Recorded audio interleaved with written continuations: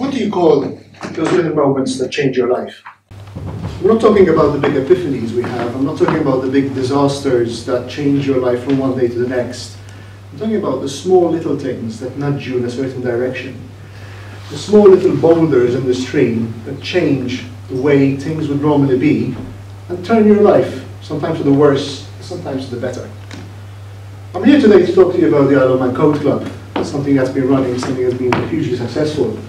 But there are a number of points in my life that led up to this, and I wanted to share those with you first, because they make a fantastic story. So, but before I start, just want to tell you a bit more about Code Club. Code Club is an organization that's been set up on the Isle of Man to help teach people, help teach kids especially how to code. But it was also designed as a focal point for people who find coding fun, people who work in coding, to come and share what they know with others, find their peers, and find other people to talk about their hobby.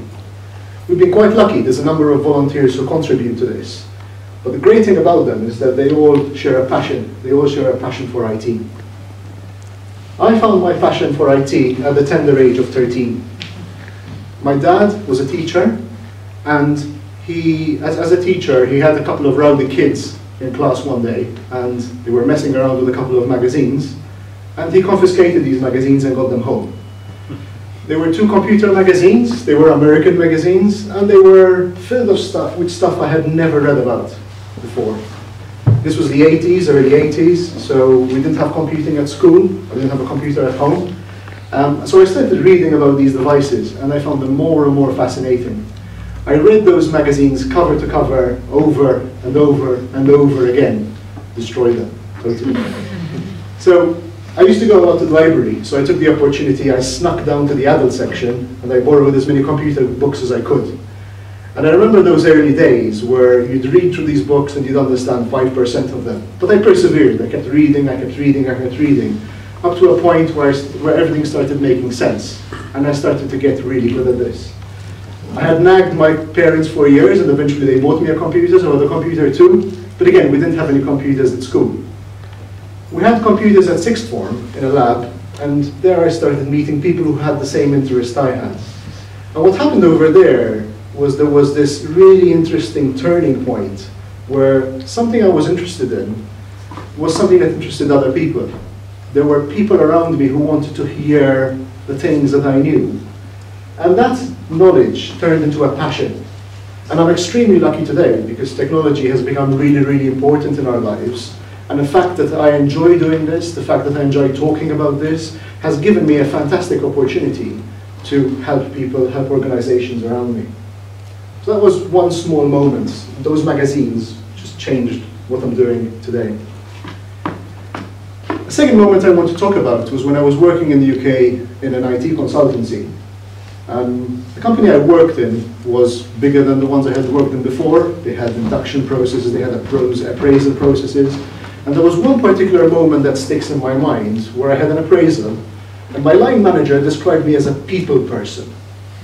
Now, I would never have thought of myself as a people person. I was a techie. So why is this mentor of mine calling me a, a, a um, why is this person calling me a people person? And I started looking at what I was doing. Yes, what I, the job I was doing was very technical, but I was also helping bridge a gap between people who didn't understand what these things did. I was very good at conversing with people, at explaining what, how things work, and this skill really stood out, and this person pointed it out to me. Again, this changed what I did with my life later on when I was looking at doing a master's. I could have done an MSc in computing, which would have been easy, or I had a choice of doing an MBA, which was harder, but much more valuable for me. And I found that the tools, the knowledge, the people I met during this MBA were instrumental to the way my life um, kept going on from there on. So yeah, just one statement, you're a people person. And that gave me the direction that I took. The third moment I want to speak about is a place I visited a couple of years ago. It's a place called Singularity University.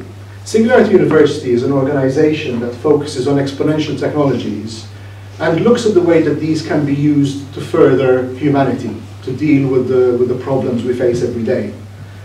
It was a fantastic experience. I met a lot of interesting people, And one person stuck in my mind. This person was from Colombia, and her life was completely different to mine. She worked in an educational charity, and the stories she was telling us, the big problem they have in Colombia is corruption. And it's not uncommon to hear stories of somebody who's working at what they're passionate about, building a school in a particular area, for example. And because what they want to do conflicts with something that some rich person um, wanted to do, like redevelop that estate, this person would suddenly disappear overnight and nobody would hear from them again. Can you imagine living in that environment? But Singularity was a big change for me. It opened my eyes to a lot of things. But there was a little tiny point that made me decide to go to Singularity. I went to Singularity thanks to a contest that was being run in the Isle of Man, the Isle of Man Grand Challenge. And I remember umming and ahhing whether I should go for this contest. It's going to take some of my time, it's going to be pressure on me. And there was a point where my wife said, just do it. And yes, she did say just do it, but what she really meant was just do it. Even if you fail, I still love you. There was a small, tiny point literally changed what I was doing. But that statement gave me the strength I needed to make change, the strength I needed to look at myself and see how can I improve, how can, how can I be better. So, third moment. Came back from Singularity, wanted to do something, kept speaking to people about Code Club. And it happened to be that there were a number of people who had similar ideas, but nobody had taken action, nobody had done anything. And there was one conversation that made this happen for me. I was speaking with a friend and colleague, Kurt, um, and he asked me the question, what do you need? At that point, my immediate answer was, I need computers, I need space. I knew I had volunteers, I knew I had people who would help. But looking at that statement, examining that statement later, what do you need? I realized that what I had been looking for was permission from someone to say, yes, do this. Look at me, I'm 40 years old and I'm looking for permission to do stuff. It sounds really stupid when you say it that way, but in reality, I could have done this, anybody could have done this, but everybody was looking at everybody else, waiting for them, waiting for someone to give them permission. I guess what that gave me was the courage to make change, the courage to set it all up. So, the first step of Code Club was we started speaking to people. I asked for people uh, if, if anyone wanted to volunteer. We put out an ad in the paper. Does anybody want us to set up a Code Club on Ireland? And the first time we met, there were around 50, 60 people standing in a room which should really have accommodated a max of 40. Besides the fact that it was a fire hazard, it also meant that what I had planned for the day just wouldn't work. So we said what we did is a really bad photo over there. But that photo was a whiteboard where I asked people to scribble, what do you want to learn about? And that really solidified what we wanted to do. That photo on the right hand side over there was the first time we met, and there's some kids over there starting to play. We modeled this on a code club that was happening in the UK. So the UK Code Club provided us with materials and lessons that we could actually deliver to kids. So that was the first step that we did. Um, the changeover there, however, is that the Code Club in the UK tends to happen once, they run a set of lessons, and that's the end of it.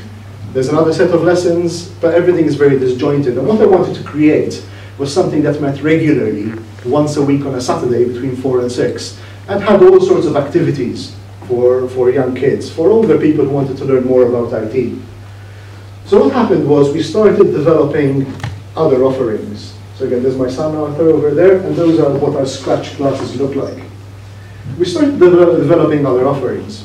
There's a very interesting space called uh, Makerspace. And what they do is they, they talk to people and they encourage people to make things. Now if you think about coding, coding is about making a program, building a program. And we can all pick up our phones and download an app for, for a dollar, for two dollars if we want to. But we can also write that's And that's what the whole coding idea is about. Making is similar, but in a physical space. So we use things like 3D printers, for example, to actually make things. We use Raspberry Pis, Arduinos, small computers to actually create things that can do stuff. And the person on the left over here, over there, Dan, is one of the one of the volunteers we have who really inspired me to set up Code Club. His idea was that he loves this stuff so much that if somebody provides him with a space to do it, he'll just do it. And I'm immensely grateful to all the volunteers who help us through what we're doing. But the fantastic thing about them is they're all extremely passionate about what they do. They're the sort of people who, if they had nothing to do, would sit in their garage on a Sunday and mess around with this stuff. so all we're doing is bringing them together and helping them show other people what they're, what they're passionate about, what they enjoy doing, so that they can share this with the world. So we grew and we grew and we grew, and up to this point in 18 months, we've got around three, 400 kids who we've trained who keep coming back to learn more things, which, which to me is a fantastic success. Um, we've been running robotic sessions also, that's what that picture down on the bottom, bottom right is showing over there, which looks quite messy. Uh, but again, um, we use Lego Mindstorms to help kids build something from Lego, which they can write a program to animate. And recently we ran a contest. So on the left-hand side over there, there's Holly, who's nine. We ran what we call the National Robotics Contest. So we invited everyone in the Isle of Man, all the schools, to take part in this. Um, Holly, this nine-year-old, won this contest and won a fantastic prize that Blue Wave gave us. We're also doing other things. On the top right over there, there's the cybersecurity team. We're taking part in a UK contest um, where we have a number of challenge, a number of cybersecurity challenges. And we're doing quite well considering that we had no preparation for this and we're competing with people who study this at school. Bottom right, there is a code bus. That's actually a point of presence we can take around the island. We can visit schools. It's got 4G, it's got a generator. We can sit in the middle of a field and teach people coding if we want to. So, what does the future hold? Uh, we're currently uh, engaged on another project to build what's called the Fab Lab. Fab Lab stands for, it's a digital fabrication lab, and it's all about this idea of making, this idea of creating. We're going to have electronics in there, we're going to have Raspberry Pis, Arduinos, but we're also going to have traditional making things, like woodwork, like metalwork, which pe pe some people might have access to, but others might not. We're also going to have an event space in there, and this is a facility down in the south that the factory um, has given us to make use for the space. We're using volunteers to build this, um, and we're expecting it to be, come online next year, and that will be the new home for Code Club. So, these kids that we're working with, these people that we're working with, have a long road ahead of them. And there's a number of things that will help them along this road. Passion's going to help them, direction's going to help them, strength is going to help them, courage is going to help them.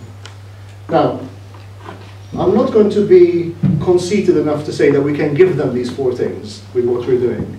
But as parents, as educators, we hope that these have these things.